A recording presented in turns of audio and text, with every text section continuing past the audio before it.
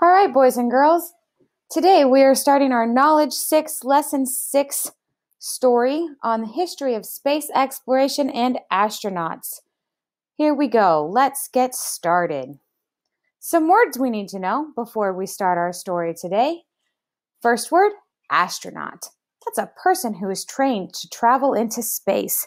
An example of this an astronaut has to train for many years before he or she travels in space. The next word I want you to listen for as I read is the word launch. Launch means to lift or push an object forcefully. An example of this is in the afternoon, they planned to launch the rocket into the air. The next word to listen for as I read is rockets.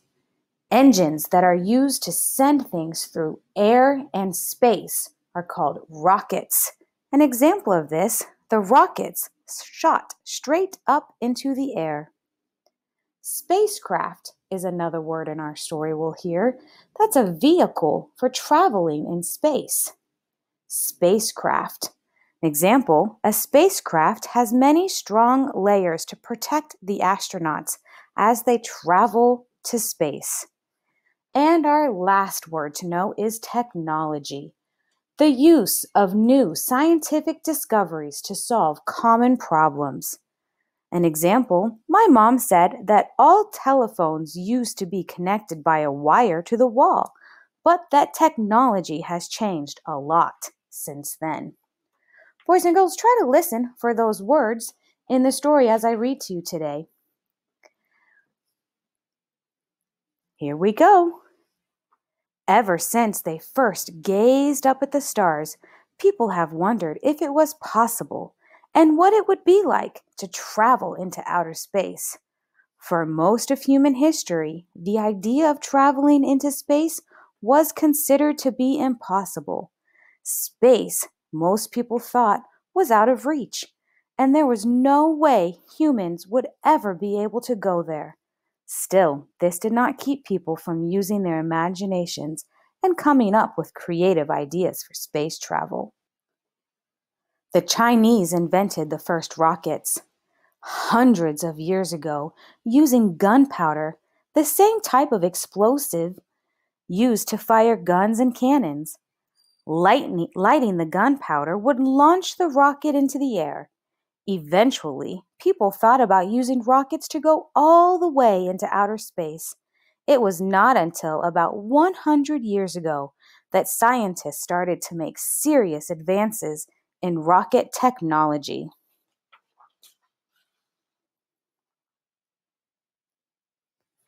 By the 1950s, probably around the time your grandparents were born, or just a little bit before then, Rocket technology had improved to the point that people began to think seriously about space travel and exploration. Back then, there was a nation called the Soviet Union, which no longer exists today, but which consisted of Russia and other countries near Russia. At that time, the United States was the only other nation in the world as large or as strong as the Soviet Union. The leaders of the Soviet Union and the United States each wanted to show the world that theirs was more powerful country by being the first to launch a rocket into outer space. This photo shows scientists in the United States launching the first rocket from Cape Canaveral, Florida in 1950. This was just a test to see whether this type of rocket engine worked.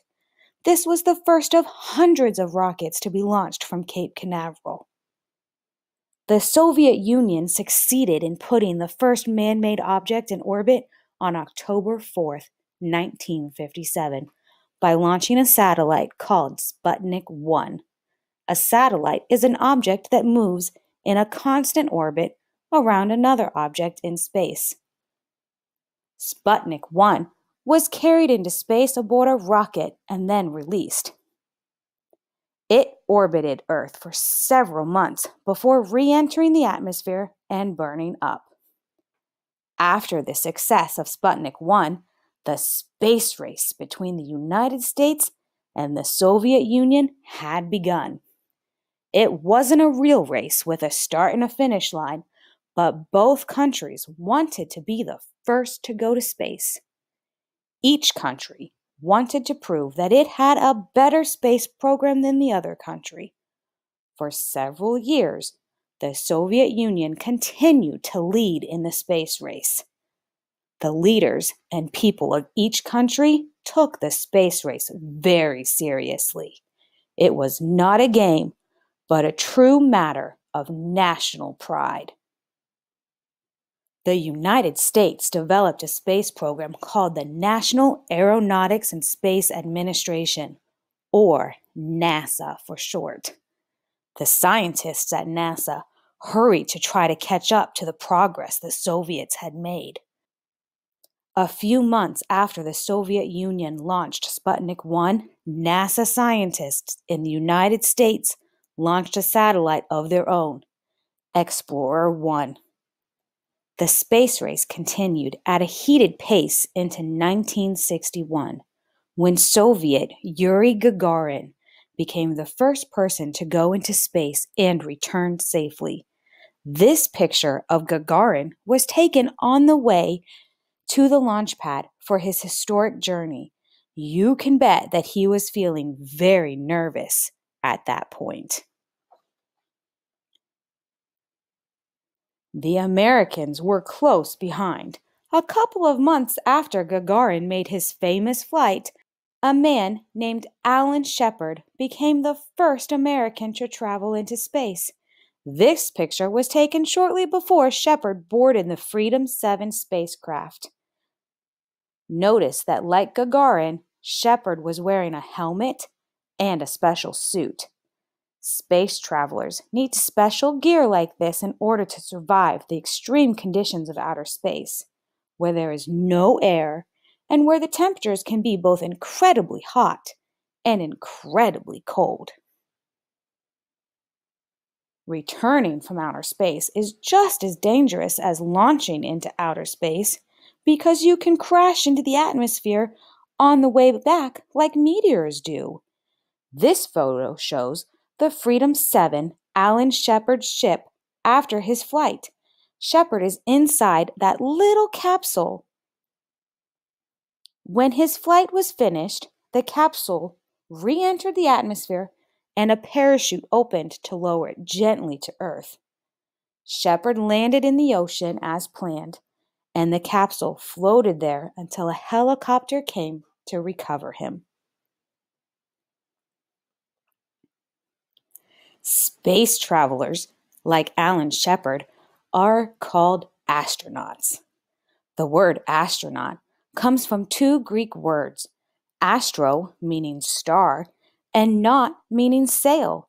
So an astronaut is a star sailor or a person who is trained to travel into space. Although being an astronaut can certainly be one of the most interesting jobs in the world, it is by no means an easy job. Astronauts spend many years in training to prepare for journeys into outer space. Astronauts must be healthy and strong because space travel can be very difficult. Astronauts are stuffed into tiny spaces and launched into space in a rocket powered by thousands of gallons of powerful fuel.